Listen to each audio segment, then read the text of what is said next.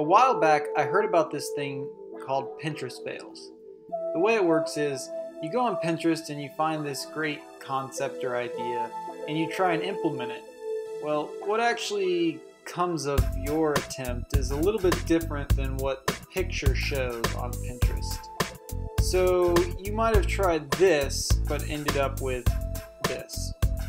Here's some other Pinterest fails that I thought were pretty funny. So I decided that I wanted to try a Pinterest recipe and see how it turned out. My recipe of choice? Ice cream cone cupcakes. The idea here is simple. Just fill some ice cream cones with some cake batter and cook them for 15 minutes and it should work, right? Well, this is what happens.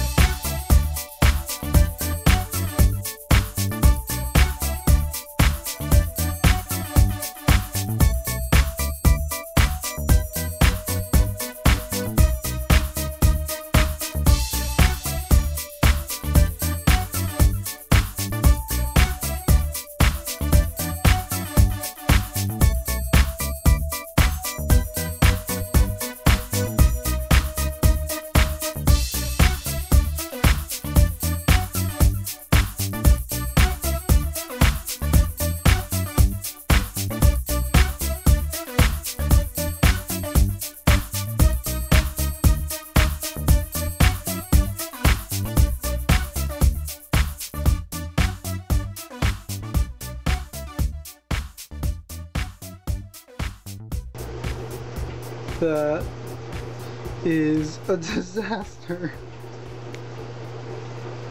In the end, the cupcakes ended up exploding in my oven, and they were unedible.